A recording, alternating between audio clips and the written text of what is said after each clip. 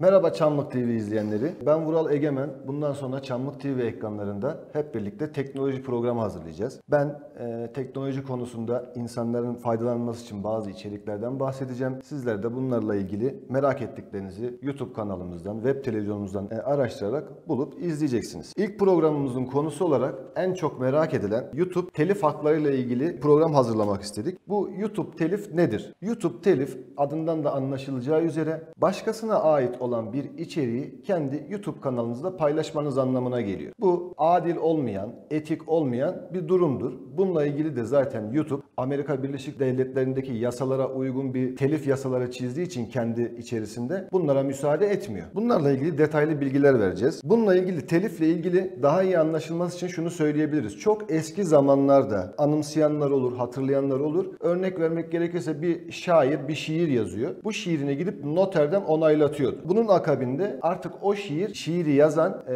ve noterden onaylatan kişiye ait oluyor. Artık bu saatten sonra ikinci şahıslar veya firmalar, şirketler o şiiri kullanmak için asıl sahibinden müsaade almak zorundaydı. Müsaade alırken de bunun ölçüleri var. Nerede kullanacak, nasıl kullanacak, alıntı mı yapacak, birebir aynısını mı kullanacak? Bunun ölçüleri var. Bu ölçülere göre sahibinden izin almak gerekiyordu. Aslında YouTube'un telif yasaları da ya da telif ihlalleri dediğimiz kısım da aynı mantıkla çalışıyor. Sadece bizim ülkemizdeki yasalara göre değil, ABD'deki yasalara göre çalışıyor. Bununla ilgili e, YouTube detaylı bir rehber hazırlamış zaten ama e, milletçe çok okumayı sevmediğimiz için bu tarz videoları izlemeyi daha çok seviyoruz. O yüzden biz de bu programda teliflere değiniyoruz. Basit olarak ben size kendi kanalımızdaki olumsuzlukları göstererek, neler yapılabileceğini göstererek anlatmaya çalışacağım. YouTube Studio beta diye bir yeni sürüm çıkardı ancak bu ancak bu yeni sürümde çok fazla insanlar rağbet göstermedi. Kullanma zorluğundan kaynaklanabilir ya da yeni bir şeye alışmamız zor olduğu için olabilir. Ben yine de klasik içerik stüdyosuna göre anlatacağım bazı şeyleri. İlk önce YouTube paneline girdiğinizde burada video yöneticisi kısmı var. Video yöneticisi kısmında sizin kanalınıza yüklediğiniz videolarla ilgili, içeriklerle ilgili e, yediğiniz e, telif ihlalleri, e, ihlal ettiğiniz hak ihlalleri veya videonuzdaki çoğu reklam verene uygun olmayan bir içerik olduğuna dair uyarılar alırsınız. Bu uyarıları dikkate alarak nasıl içerik üretmeniz gerektiğini az çok tahmin edebilirsiniz. Bununla ilgili birkaç tane örnek gösterelim. Örnek vermek gerekirse şurada alt taraflarda yer alan bir tane videodan bakalım. Neden telif yemiş? Telif hakkı iddia eden firma kimmiş? Burada açık bir şekilde YouTube size gösteriyor. YouTube panelimizde herkese açık bu videonuzun dünyadaki herkesin izleyebileceği anlamına geliyor. Yanındaki yeşil dolar işareti en sevdiğimiz işaret. Bu işareti gördüğünüzde bu videonuz para kazanmaya müsait. Artık bu videonuzdan para kazanıyorsunuz anlamına geliyor. Ancak yeterli mi? Yeterli değil. Örnek bu videoda 458 görüntüleme olmuş. YouTube'dan para kazanmak için 458 görüntüleme bir şey ifade etmiyor. Sizin burada 458 bin görüntüleme, işte 4,5 milyon görüntüleme yapmanız lazım ki hatırı sayılır bir para kazanabilirsiniz. Bir tane telif hakkına bir örnek verelim. Şurada bir tane örnek bir video var. Yozgat Bağımsız Belediye Başkan adayı Kazım Arslan Çamlık TV'de isimli videonun telif hakkı ile korunan içerik içerir diyor. 1214 görüntüleme yapmış. Video herkes tarafından görüntüleniyor. Şuradaki zaten yuvarlak içerisindeki C işareti telif hakkı talebinde bulunulduğunu gösteriyor. Zaten dolar işareti de çarpı yemiş. Yani bu videodan para kazanamıyorsun. Peki neden telif yemiş? Buna bakıyoruz. Buraya tıkladığınızda sizi videonun detaylarına götürür. Burada videonun bir ses kaydından dolayı telif yediğini görüyoruz. Bu telif 19.02 ile 21.06 dakikaları arasındaki sesten dolayı yemiş. Şuradaki kısımda davacı yazan kısım aslında burada davacı yazdığı zaman insanlar beni mahkemeye mi verdiler ben davalık mı oldum diye telaşlanan insanlar da oluyor. Bununla ilgili de sorular alıyoruz. Aslında bu davacı dediği sadece telif haklarını ihlal ettiğini gösteriyor. Burada ZSS görüntü firması adına Okart Müzik telif hakkında bulunmuş. Yani bu hak benim demiş. Buradaki sesi kullanamazsınız diyor. Burada Kazım Arslan'ın Vefa isimli bir videosu var. Bu videonun içerisinde kullanılan müzik telif yasalarına takılmış. Yani o kart firması diyor ki ZSS görüntü firmasının kendisine sağladığı hak ile bu ses benim ve sen bunu kullanamazsın diyor. Burada telif hakkına sahip olan kişinin iki tane hakkı var. Birincisi kesinlikle sizin kullanmanıza müsaade etmez. Yani bunu hiçbir şekilde kullanamazsınız der.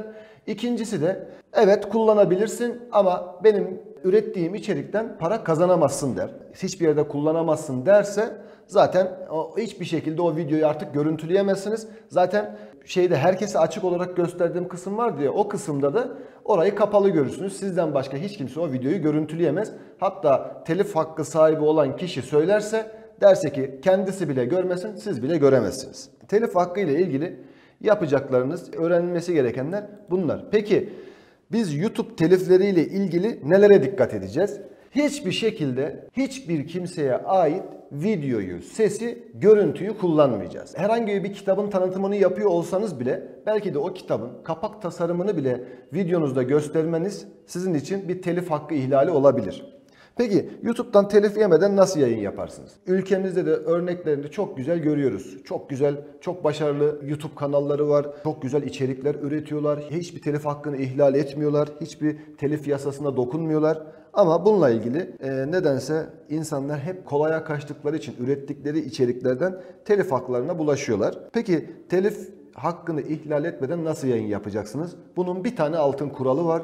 O da kendinize ait özgün içerik hazırlamanız.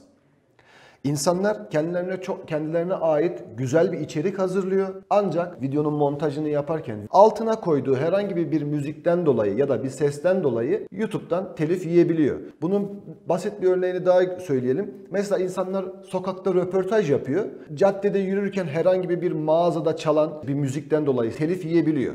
Bunlara maruz kalmamak için videonuzu çok iyi analiz etmeniz gerekiyor. Bununla ilgili özgün içerik üretmeniz gerekiyor.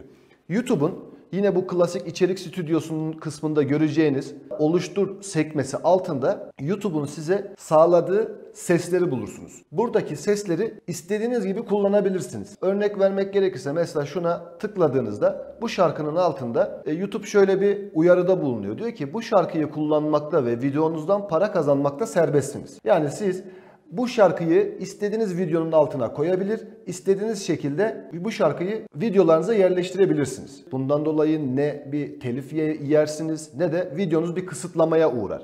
Burada YouTube bazı müziklerde de şöyle bir ibare koyuyor. Diyor ki bu müziği kullanabilirsin ancak müziğin kime ait olduğunu belirtmek zorundasın. Diyelim ki Ahmet Mehmet isimli bir adamın yaptığı şarkıyı videonda kullanmak istiyorsun. Bunun için de YouTube diyor ki bu şarkının Ahmet Mehmet'e ait olduğunu videonun açıklamasına yazmak zorundasın diyor.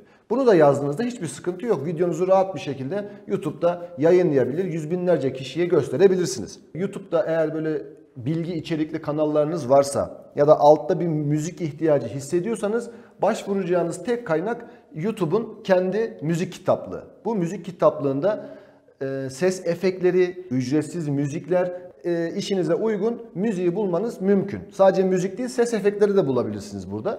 Bunları sadece YouTube'un söylediği şekilde kullanmanız gerekiyor. Bir diğer mevzumuz da YouTube kanalı açarken dikkat edilmesi gerekenler. YouTube kanalı açmadan önce kafanızda konsepti hazırlamış olmanız gerekiyor.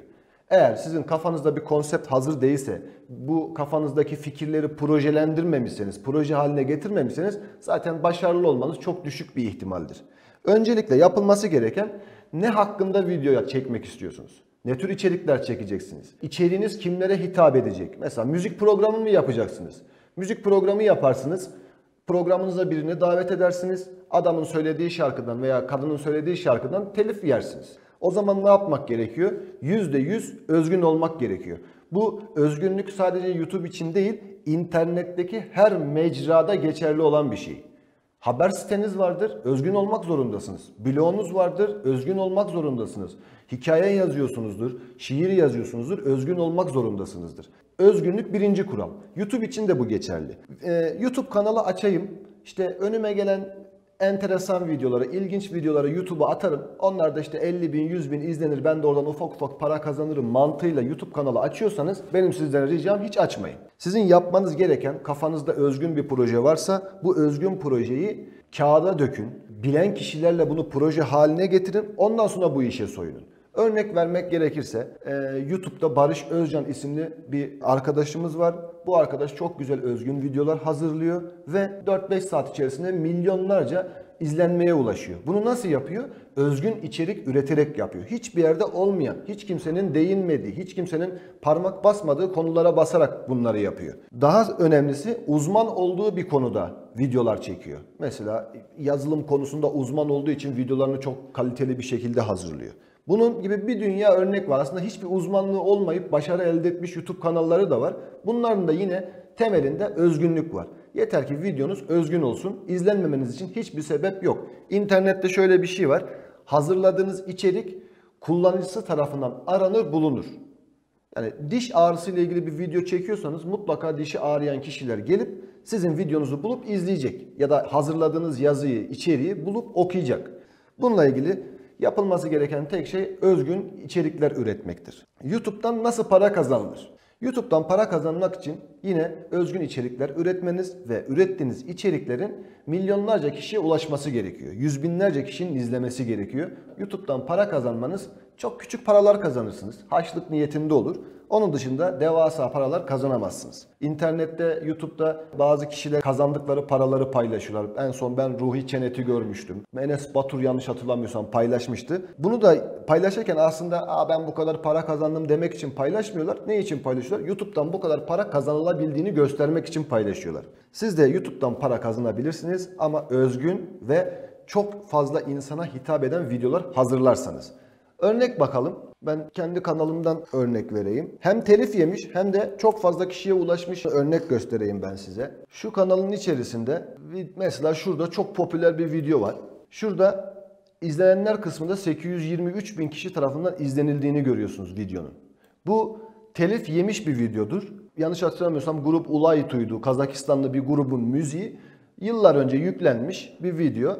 O 2014'te yüklenmiş bir video telif yemiş. Oynatılmasında bir sakınca yok. Oynatıyoruz ama para kazanamıyoruz. İşte bizim YouTube'da yapacağımız kimsenin hakkını ihlal etmeden özgün içeriklerle video kazanacağız. Bir tane daha örnek göstereyim. Bu videoyu yüz binlerce kişiye ulaşmış ama para kazanamadığımız bir video tipi olarak örnek gösterdik. Bir de özgün bir içerik. Video mesela Miraç Mucizesi 780 bin kişi tarafından izlenmiş ve para kazanan bir video. Hiçbir telif hakkına uğramamış, hiçbir telif yememiş. Bunu ne yapmışız? Bir tane sesin üzerine küçük bir görüntü atıp YouTube'a yüklemişiz. Bir saatten fazla olduğu için çok fazla gelir getiren videolardan bir tanesi. YouTube'dan para kazanmak için sizin özgün içerikler üretmeniz, ardından AdSense'e başvurusu yapmanız, hazırladığınız içeriklerin yüz binlerce kişiye ulaşması, ardından da para kazanmanız gerekiyor. Para kazanmak bu kadar kolay. Sadece özgün içerik üretmeniz gerekiyor.